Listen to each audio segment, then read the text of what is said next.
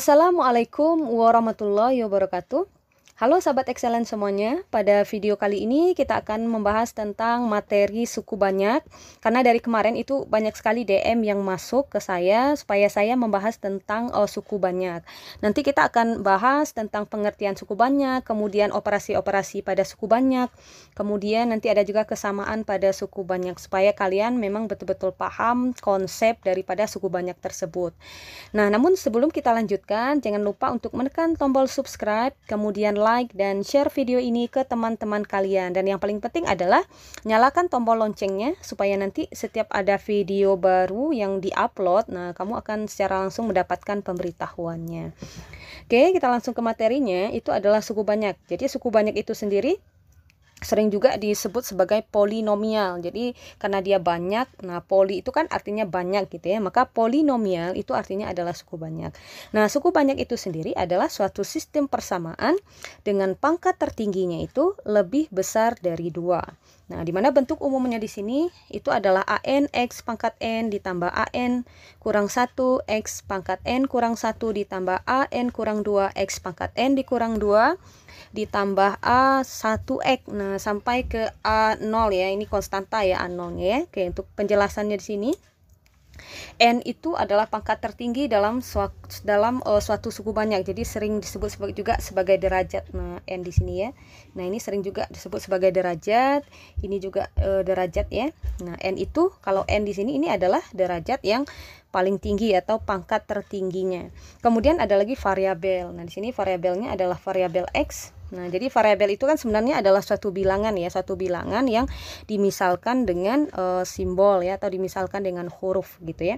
Kemudian ada lagi koefisien. Nah, di sini katanya koefisien seperti AN, kemudian AN kurang 1, di sini ada AN kurang 2, A1 di sini A1 ya. Kalau ini bukan koefisien ya, ini namanya adalah konstanta ya atau pembagi suku tetapnya. Nah, seperti itu. A1 semuanya itu adalah oh, koefisien. Jadi, definisi koefisien itu adalah bilangan kalau di sini katanya bilangan yang mengikuti variabel. Kalau saya lebih mudah mengingatnya itu adalah koefisien itu adalah uh, bilangan yang selalu lengket dengan variabelnya. Misalnya 2x berarti koefisiennya adalah 2 untuk variabel x. Nah, seperti itu ya. Nah sekarang untuk lebih jelasnya kita lihat untuk contoh soalnya. Misalkan saya punya persamaan X ditambah 3 Nah misalnya seperti itu ya Saya punya persamaan X ditambah 3 sama dengan 4 Nah kita lihat pangkat tertingginya.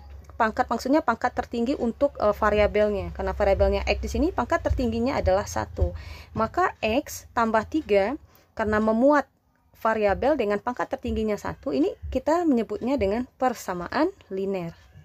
Jadi sebenarnya persamaan linear itu adalah persamaan pangkat satu gitu ya atau persamaan garis lurus juga bisa.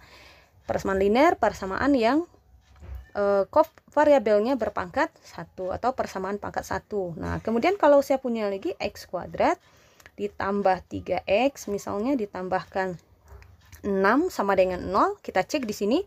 Kita lihat ya di sini ada uh, apa variabel x. Di sini juga ada variabel x. Tapi yang kita lihat adalah variabel yang memuat pangkat tertingginya. Ternyata dia memuat pangkat tertingginya itu adalah dua. Karena dia memuat pangkat tertingginya adalah dua kita menyebutnya sebagai persamaan linear nah jadi kalau dia pangkat dua nyebutnya persamaan linear kalau dia pangkat satu berarti dia adalah persamaan maksudnya bukan persamaan linear ya persamaan kuadrat maksudnya. Jadi kalau dia pangkat dua itu kita nyebutnya adalah persamaan kuadrat.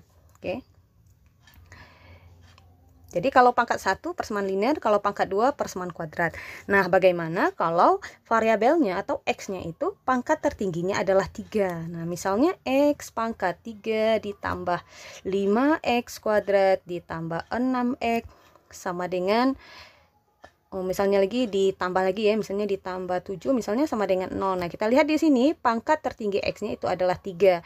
Berarti kalau ditanya derajatnya, derajatnya itu adalah 3. Karena definisi derajat itu adalah pangkat tertinggi gitu ya.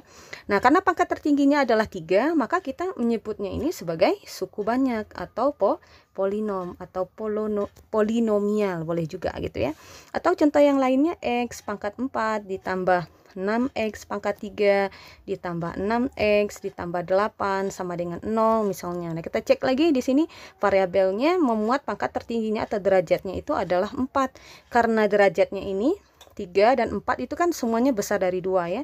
Karena e, derajatnya 4 dan 4 itu besar dari 2, maka ini juga kita sebut sebagai persamaan suku suku banyak. Nah, jadi sangat gampang sekali ya, sahabat excellent semuanya membedakan antara persamaan linear, persamaan kuadrat, dan persamaan suku banyak. Kesimpulannya yang bisa kita tarik adalah, jika x-nya berpangkat 1, maka dia kita sebut dengan persamaan linear. Kalau x-nya pangkat tertingginya adalah 2, maka kita menyebutnya sebagai persamaan kuadrat. Nah, jika x-nya pangkat tertingginya itu sudah lebih dari dua, maka kita menyebutnya sebagai persamaan suku banyak. Nah, bagaimana sahabat excellent? Semoga paham ya. Nah, kita lanjut.